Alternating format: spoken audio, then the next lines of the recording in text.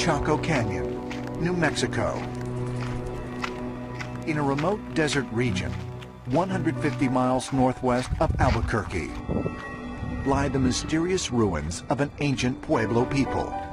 Called the Anasazi, they thrived from 900 to 1100 AD.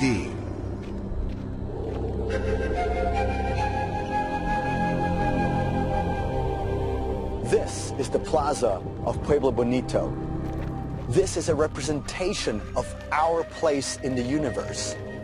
You've got the worlds above, the worlds below, and this right here is our plane of our world. This is the exact place where time and space began for the ancestral Puebloans who inhabited this place hundreds and hundreds of years ago.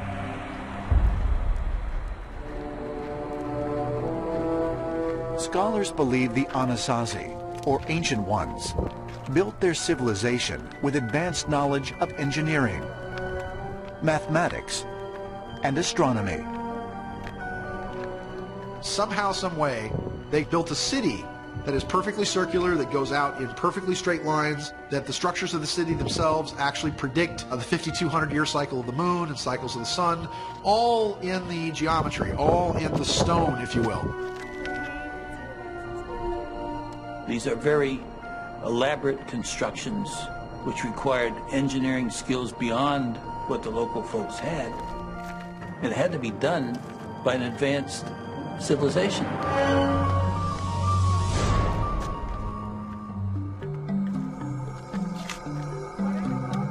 The Anasazi built Chaco Canyon, and they built it as part of a promise of a way of living that they were to uphold the wishes of the Creator.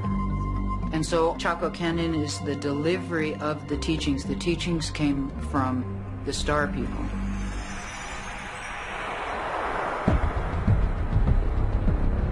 But how did these ancient people engineer such elaborate structures without modern machinery? And just who were the Star People who brought knowledge to the Anasazi?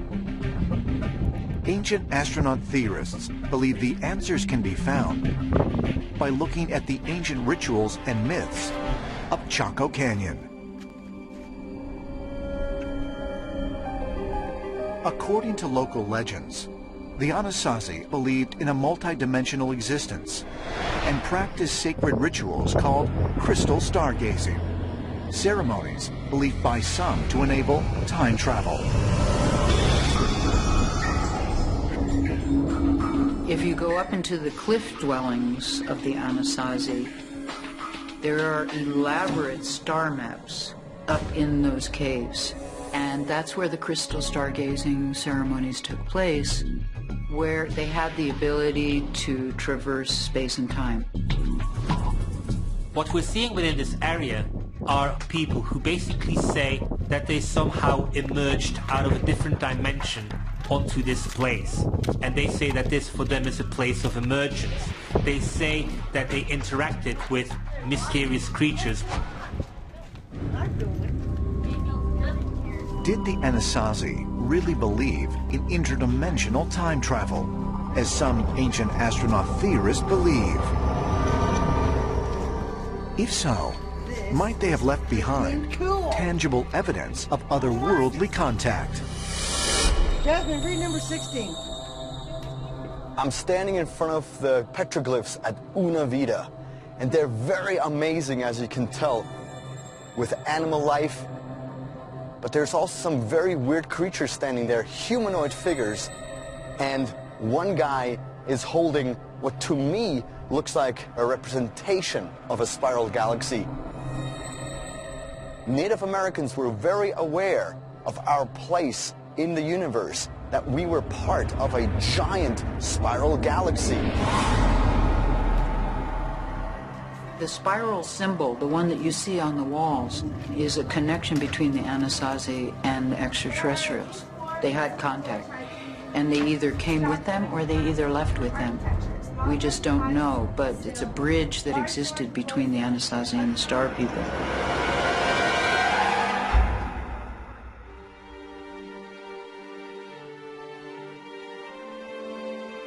Four very interesting humanoid petroglyphs have been found, one of which hovers above the other three humanoids with antennae sprouting out of its head.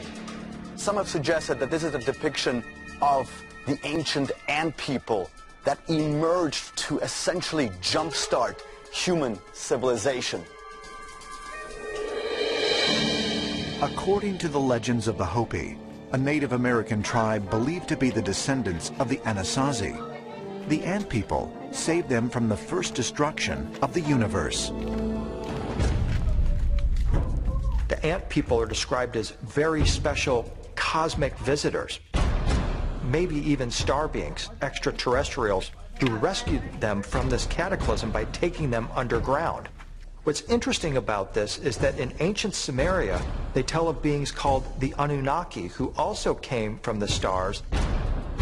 The Hopi word Anu means ant, and the word Naki means friend. Is it possible that the Anunnaki are the ant friends or ant people that the Hopi were describing? Did the Anunnaki of ancient Sumeria also appear here in Chaco Canyon thousands of years ago, as many ancient astronaut theorists believe? Perhaps the answer can be found in the local legend of the Wingmakers. 1972.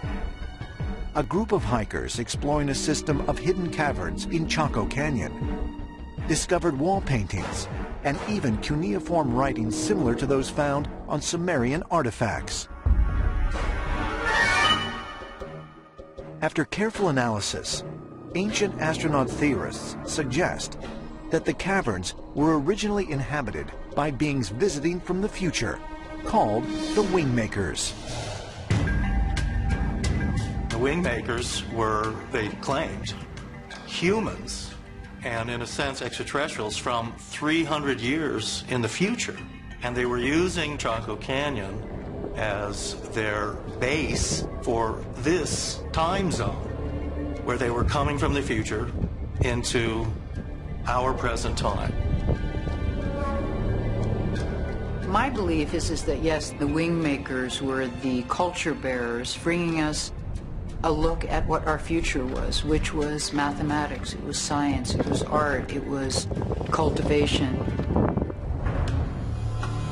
Might there be truth to the story of the time-traveling wingmakers at Chaco Canyon? And if so, is it possible the wingmakers were actually alien visitors? Ancient astronaut theorists say yes, and suggest the evidence still lies in Chaco Canyon. This is a kiva. A kiva was known to be the most sacred of places where ceremonies took place with the ancestral Puebloans when they talked about the cosmos, the universe, and our place in the universe. Mainstream archaeologists believe the kivas were once covered with timber to make a roof. But strangely, some Hopi legends refer to this circular structure as a cloud house. What if these cloud houses were nothing else but biodomes or biospheres made of nuts and bolts? It is interesting that biospheres today look as if people are living sort of sunk into the ground with a giant dome over it, and here we have something very similar. So the question is, why would anybody do this? And according to the ancient myths, they were witness to an incredible event that had something to do with ancient aliens. And to them, it was a divine encounter.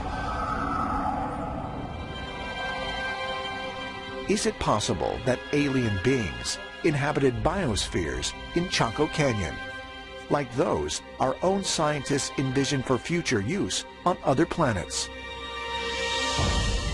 And might they have traveled here, not in spacecraft, but through an interdimensional space-time portal?